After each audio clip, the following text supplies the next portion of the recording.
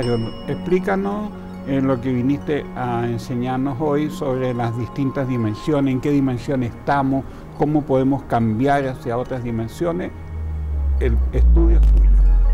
Gracias, gracias Pedro, gracias Pancha, gracias a todos también por haberme invitado y a los que están en la casa. Eh, bueno, primero tenemos que entender qué son las dimensiones, porque muchas veces tenemos una confusión entre lo que es una dimensión, entre lo que son los planos dimensionales, los niveles dimensionales y los reinos dimensionales. Mm. Entonces, la dimensión, partamos por la base, que viene, la esencia etimológicamente, la raíz viene de di, dos, mención tiene que ver con una medida. Nosotros hemos escuchado mucho que estamos en una tercera dimensión. ¿Qué es la tercera dimensión? La primera es una línea. Mira, ahí está en la pantalla. Ya, la primera es una línea, una línea que se polariza entre positivo y negativo, que genera un largo y genera un ancho.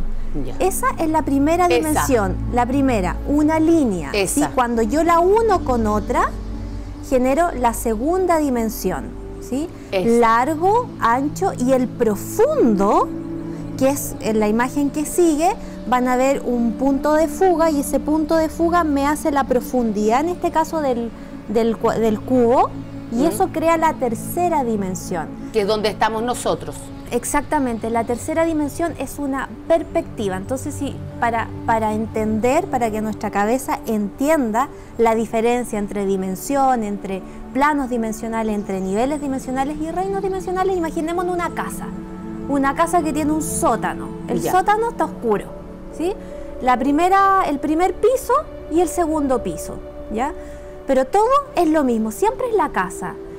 el sótano sería el primer plano, ¿sí? Ya. La, la, primera dimensión desde un punto de vista mirado del plano dimensional. Ya. El primer piso es el segundo plano y el tercer piso es el tercer plano. Pero todo en la misma casa, ¿no? Todo en la misma casa. Si yo lo hablo de niveles, ya de, niveles de conciencia. El primer piso está oscuro, ¿sí? Imagínense un mapa, imagínense esta, esta, esta casa en un plano, ¿sí? Hay dormitorios, hay baños dentro de un dormitorio o dentro de este living, por ejemplo, de este, de este lugar, hay tres sillas. Nosotros estamos mirando hacia allá. Entonces imaginémonos que allá se esconde el sol y acá sale el sol, pero nosotros estamos sentados todos mirando hacia allá. Entonces mi perspectiva va, va a entender que solamente existe cuando, se, cuando el sol baja, pero no vamos a ver cuando el sol nace. Sin embargo, otra persona que está allá va a poder ver otra perspectiva. Finalmente, los niveles dimensionales son perspectivas en relación a dónde estoy. Ahí yo veo mi camino, ahí yo veo mi norte. Y si hablamos del tercer nivel, ya el tercer piso, la persona que está ahí dentro va a tener, va a contemplar más vista porque a lo mejor ya no van a estar las plantas que tapan la ventana o los árboles, sino que van a poder ver un poquito más. Claro, los árboles, las cabezas, todo. Su mente va a ser un poco más amplia, ¿ya? Y los reinos dimensionales, imagínense en el primero, segundo y tercero. En el primero hay un, hay un animal, ¿sí? hay una persona. Entonces nosotros pensamos que en el sótano, en la oscuridad, el animal podría ser un fantasma o un monstruo, ¿ya? Claro. La oscuridad nos da miedo. Exactamente, y, en el, y en la persona en vez de persona es un fantasma, ¿ya? Ahora si lo, y no sé, si lo vemos en el, en el segundo, en el segundo piso, la, hay una persona y el animal es un perro, un es perrito, un gato. Sí. Y en el tercero hay un maestro ascensionado y el animal podría ser una hada. Esa es la diferencia, simplemente una perspectiva, ¿sí? una conciencia, pero todo está en la misma casa, no está fuera de la casa. Siempre estamos hablando de lo que está dentro de la casa. Entonces, para entender lo que son las dimensiones, como nos íbamos a la imagen que aparecía ahí, la primera dimensión, y esto saquémonos un poco el, mundo espiritual, acá vamos a dar obviamente ejemplos para unificar la ciencia y la espiritualidad, pero veámoslo solamente desde Por la lógica. Ejemplifícamelo con lo que está pasando en el estudio, me dicen.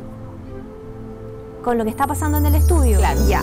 Acá tenemos una cartera. Ya. Una cartera tiene un lado Ya. Esta sería la primera dimensión, lo que ustedes están viendo acá. Donde Este acá, lado nomás. Este lado, positivo y negativo. ¿ya? Perfecto. Lo positivo y negativo, por temas de frecuencias electromagnéticas, se comienzan a unir. Positivo, negativo, positivo, negativo. Y van a generar el ancho. Entonces ahora ustedes van a ver esto y van a ver esto. ¿Sí? Eso es la segunda dimensión. Si lo vemos en un plano, el plano me voy a comprar un departamento, el, el corredor de propiedades me va a pasar un plano para que vea el departamento, no voy a estar dentro del departamento. Eso es la segunda dimensión. Y la tercera dimensión es cuando ya le doy profundidad a algo, que es lo que podemos ver, ojalá que puedan poner las imágenes. claro, la profundidad. O sea, está el cuadrado así, pero ya el cuadrado tiene una profundidad. Sí, hay un punto de, Un punto fuga, de fuga. un punto de fuga que genera una proyección, ¿sí? Y eso es la tercera dimensión, por lo tanto nosotros necesitamos la primera y la segunda dimensión, pero en nuestra conciencia, ¿sí? Ahí está, ese es el punto de fuga que se fractaliza y va creando la tercera dimensión. Y lo mismo ocurre a nivel biológico, pasa exactamente lo mismo. Dos células, se- en un cromosoma hay mitosis y se va dividiendo y se divide y se divide. Lo mismo pasa con la tabla periódica cuando vemos que se construye el oxígeno, por ejemplo. ¿sí? Lo mismo ocurre, empezamos a crear algo. Entonces, lo que muchas veces nosotros pensamos que es real Mm. es una ilusión. Claro, pues la mente también nos muestra reali- realidad y uno cree que ya le está pasando y no es así. Exactamente, porque en esa imagen no sé si la pueden parar un poquito ahí. ¿sí? Ya. Ahí, imagínense el cubo de dentro, el que está de color calipso. Sí. Ese, pongamos que es el espíritu. Ya, ya nuestro pongámosle espíritu. un nombre, espíritu. Lo que viene, el cuadrado amarillo o el cubo amarillo, es el alma. Y lo que está afuera, El el, rojo. rojo. es el cuerpo. Nosotros pensamos que... Permiso. Esto es el cuerpo. El alma viene, entra al cuerpo y el espíritu viene, entra al alma y al cuerpo. Entonces nosotros pensamos que cuando nos morimos sale El el, alma. alma. y el cuerpo se desvanece. Claro. Pero vámonos al ejemplo de la casa y acá sí le pueden dar eh, play. Eso ocurre. El alma se comienza a expandir, ¿sí? Y es Ya. lo mismo que ocurre de repente, no sé si han tenido la experiencia cuando sueñan y, y Que uno salta. Que uno salta o que se ven desde el techo. No, eso no me ha pasado, pero a mucha gente le pasa. Ya, que, que salen, que su alma sale del cuerpo. Pero finalmente pasa eso. La esencia, el alma, el cuerpo. El alma, que es la energía, Se empieza expande. a generar esto y sale. Se pero, expande. pero no es que, o sea, se expande, perdón, no es que salga. Y lo mismo pasa, el cuerpo no sale o el cuerpo no se desvanece, el cuerpo se transforma, el espíritu sale. Entonces todo esto va generando una, una replicación. Es lo mismo que una idea, después van a ver Y cuando por vaya eso dicen que hay avanzando. varias personas, hay varias Francisca, hay varios Pe- eh, Pedro, varios eh, Carol. Porque es una, es- somos un- finalmente un holograma, somos una ilusión, Fractales. es un sueño, son fractales. Entonces, la cuarta dimensión ¿Mm? es, yo estoy acá, yo estoy, me- si me pongo delante de ti, permiso, me pongo delante de ti, yo veo mi copa, esta es mi perspectiva. Pero tú estás detrás mío, tú me puedes ver a mí, Te puedes ver mi espalda y tu copa pelo, no y la- puedes ver, puedes ver, ya, supongamos que tienes Sí, esa mirada. Tú ves todo. todos mis tiempos. Todo. Claro. Y esa es la cuarta dimensión. La cuarta dimensión están todos los tiempos, pero ahí, si tenemos una y ahí están conciencia, los maestros ascendidos. no, neces no, los maestros ascendidos corresponden a dimensiones más altas, Más pero. Para, para llegar a tener una comprensión en esa gran conciencia, en esa totalidad, nosotros necesitamos primero integrar la tercera y la cuarta. No nos podemos saltar de la cuarta para la quinta. Es como una escala. Cada, Es- exactamente eh, cada es como la primera. Si yo quiero ver esto, necesito integrar la primera, la segunda y la tercera dimensión. Perfecto. Porque si no, no voy a poder, no voy a poder comprender la cuarta dimensión. Entonces muchas veces escuchamos las corrientes que nos dicen, no, el tiempo no existe, pero ¿cómo si hoy día son, no sé, por las cinco y media o van a ser las seis de la tarde? ¿Cómo no va a existir el tiempo si yo estoy viendo el reloj y está la hora? Ya, es conciencia, porque si yo empiezo a adquirir la conciencia de la cuarta dimensión, entiendo que el tiempo no es que primero estuvo el pasado y ahora está el presente y mañana va a estar el futuro. Mm. En la cuarta dimensión están todos los tiempos, están todas las posibilidades, están todas las proyecciones. Es como este punto. Nosotros vemos, es esto, es un punto que es la primera dimensión, el punto que generó una línea y esa línea generó otra, otra, otra, que a nivel biológico, que es lo que conocemos como mitosis, donde vamos generando más células. Entonces, lo mismo pasa con una idea. Una idea, en un principio, es una ilusión, pero todo es ilusión. Esto es una ilusión. Yo lo tengo, pienso que lo puedo tocar, pero es porque los electrones están evitando que cohesionen entre ellos y yo es la sensación, pero no es que yo esté tocando la copa o mis ojos. No, además Mm. todo ha sido una ilusión. Esta silla, este baúl, este estudio, la misma televisión, las comunicaciones fueron una ilusión pensada en la mente que después se co-crearon. Exactamente, entonces muchas veces escuchamos, no, es que en la cuarta dimensión nada bueno puede haber. eh, eh, eh, ahí están los fantasmas, ahí están los monstruos, está el astral y todo. Ya, si yo tengo, y vámonos a la conciencia, volvámonos a la casa.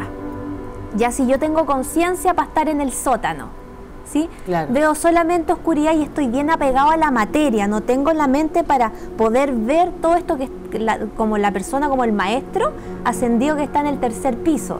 Yo estoy en el sótano.